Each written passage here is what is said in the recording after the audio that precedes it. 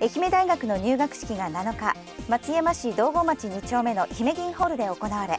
新入生1962人が学生生活のスタートを切りました。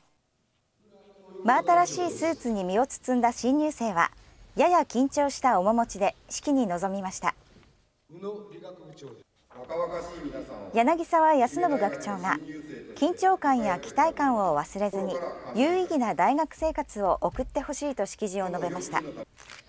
これに対し入学生総代で教育学部学校教育教員養成課程の瀬川奈穂さんは次のように宣誓しました。その感謝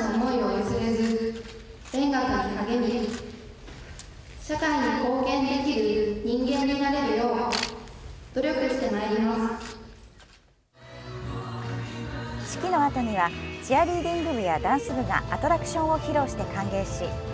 会場の外ではサークルや部活動の熱心な勧誘が行われました。新入生はチラシを見たり写真を撮ったりしながら新生活に胸を躍らせていました。新しい環境なのでもう緊張でいっぱいです。サークルとか新しい人と友達になるのが楽しみです